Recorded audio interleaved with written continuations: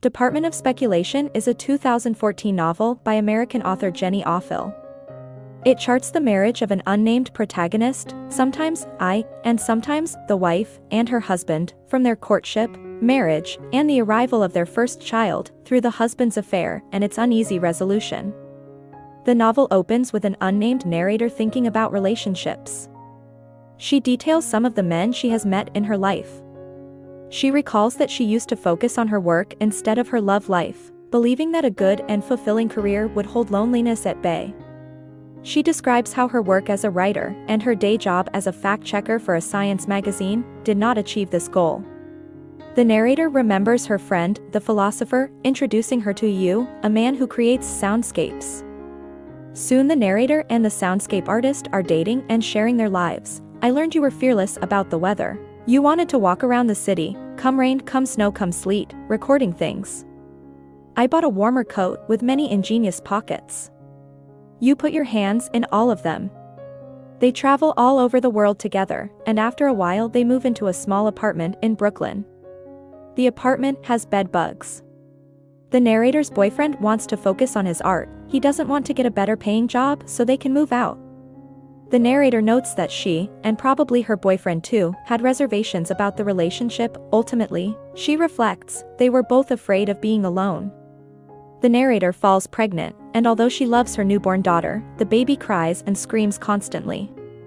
The couple can't take her out or even have friends visit. The narrator struggles with the expectation to be a good mother, put a hat on that baby, said every old biddy that passed me. But the devil baby cleverly dispatched with them to ride bareheaded in the freezing rain and wind. Money is even tighter, and the husband is forced to take a job recording sound for TV commercials. He is frustrated, but it still doesn't solve their financial difficulties. The narrator takes on better paying work as well, ghostwriting for a man she calls, almost astronaut. This man is so interested in space exploration that he wants to write a book about it, even though he can't write. She also takes teaching work.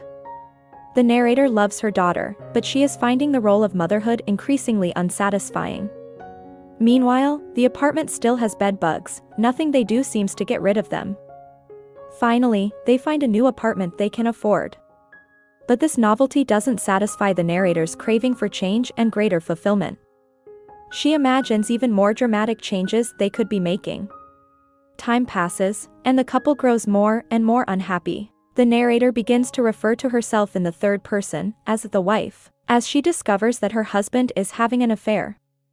The husband apologizes and promises to repair their marriage, but the wife doesn't believe it can be done. If he notices something is broken, he will try to fix it. He won't just think about how unbearable it is that things keep breaking, that you can never outrun entropy. They decide to attend couples therapy, but their marriage does not improve. The wife seeks out her husband's lover and is hurt to realize that the lover looks like a younger version of herself. The wife is miserable, and increasingly all she can think of is divorce. Her husband is still making every effort to repair their marriage, but nothing is working. One day the wife begins to suspect that her husband is seeing his lover again. He denies it, but she discovers that he has been messaging her.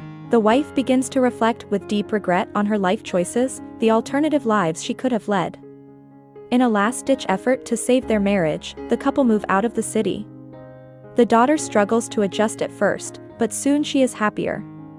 The couple continue to fight, but increasingly the wife keeps her discontents to herself, indulging instead in a fantasy that she will run away. The first person I creeps back into the narrative, Winter falls in the countryside, and the narrator sees her daughter off to school. She has accepted her life, her fate, but the setting casts an atmosphere of bleakness and defeat over this acceptance. Department of Speculation explores the challenges of marriage and motherhood with an unsparing eye. Offill's second novel, Department of Speculation was well received by critics, clever, subtle, and rife with strokes of beauty, Publishers Weekly. Although some reviewers noted that it is sometimes puzzling, Kirkus reviews, due to its constant shifts in point of view and jumps in time. I hope you enjoyed this video leave a like if you did and be sure to subscribe thank you.